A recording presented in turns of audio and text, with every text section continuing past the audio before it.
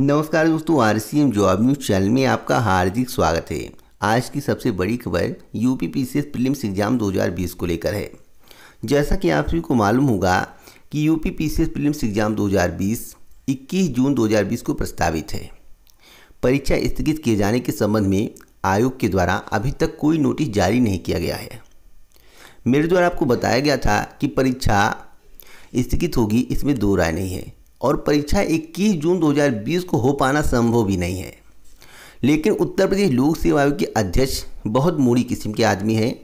आपको बता दें, जो इस समय गतिविधियाँ हैं उत्तर प्रदेश लोक सेवा आयोग की, कि 21 जून 2020 को परीक्षा का आयोजन कराया जाए।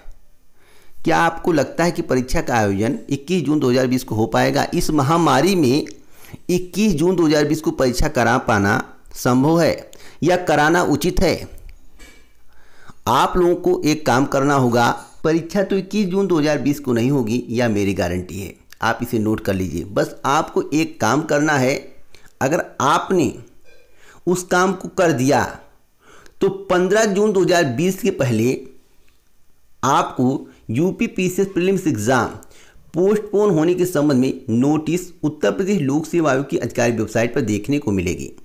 आप सभी जितने भी अभ्यर्थी यूपी पीसीएस प्रीलिम्स एग्ज़ाम 2020 में हिस्सा लेने वाले हैं, सभी को उत्तर प्रदेश लोक सेवा आयोग की मेल आईडी पर मेल करना है और अपील करना है कि 21 जून 2020 को परीक्षा का आयोजन ना कराया जाए।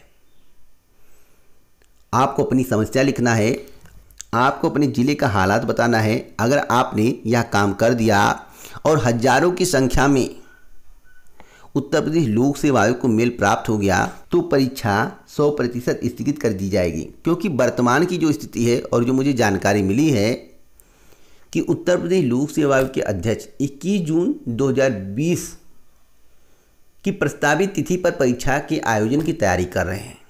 और ऐसा करना उचित नहीं है। अभ्यर्थियों को जानबूझकर मौत के मुँह में ढकेलना है।